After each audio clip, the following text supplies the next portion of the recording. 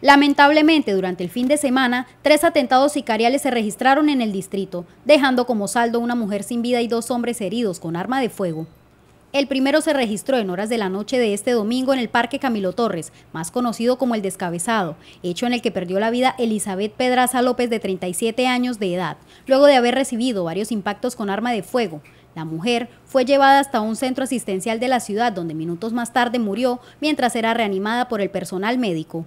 El segundo hecho se registró en el sector de Pozo 7, donde resultó herido Jesús Enrique Amariz López, de 29 años de edad, quien según versiones recibió un disparo en el rostro cuando al parecer se dirigía hacia su lugar de residencia a bordo de una motocicleta.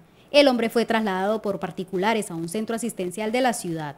El último se registró este lunes festivo en el barrio El Progreso. En este hecho resultó herido Manuel Gavino Montalvo Mutis, de 32 años de edad. Según versiones, la víctima recibió varios impactos con arma de fuego mientras se movilizaba en una motocicleta. El hombre fue trasladado a un centro asistencial de la ciudad, donde se desconoce su pronóstico.